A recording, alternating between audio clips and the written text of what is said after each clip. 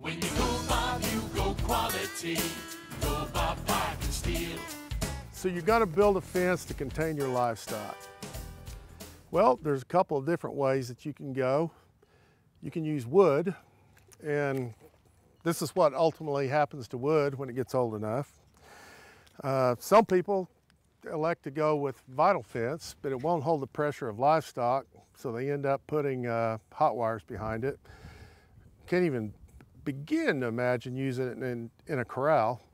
So the best way to build a fence is out of steel.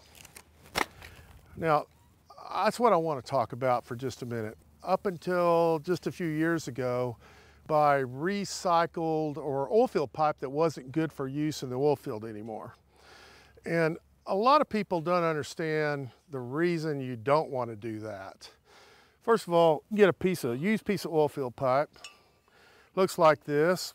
It doesn't look too bad on the outside. But let me tell you what's going on on the inside.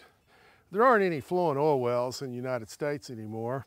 So most of those wells, or all of those wells, are going to produce salt water along with the oil. Now what does salt water do to steel? Also, to stimulate those wells, the oil and gas operator will dump acid down into the pipe. What does acid do to pipe? But the biggest problem with oil field pipe is this right here. This is a sucker rod.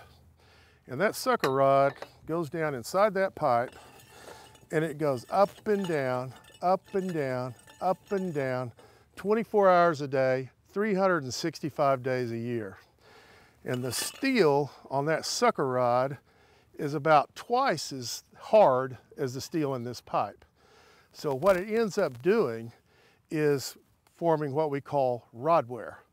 And I've picked up pipe that was light as a feather, a piece of pipe that may be supposed to weigh 100 pounds that doesn't weigh 20 pounds.